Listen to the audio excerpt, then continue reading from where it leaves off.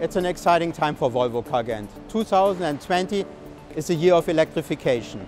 In March we already opened the brand new battery factory where we are building the batteries for the XC40. Today we are proud to announce that the first customer car of the first full electric Volvo has been produced. And this means that the next step of electrification for Volvo, but it's a huge milestone for Volvo Car Ghent. Actually, the future for Ghent looks really bright. The customer demand of the XC40 Recharge is very strong and the order intake is rising. And I'm confident that Ghent is a strong pillar in the exciting electrification journey of Volvo cars.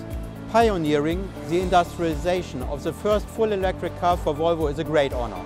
This is a huge cross-functional challenge and at first I want to like to thank all of the colleagues in the plant for launching the product today.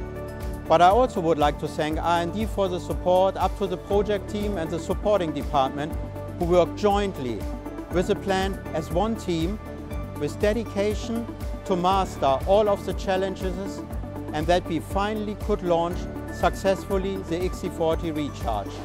Great teamwork and it proves again that even with the newest technology, people makes the difference.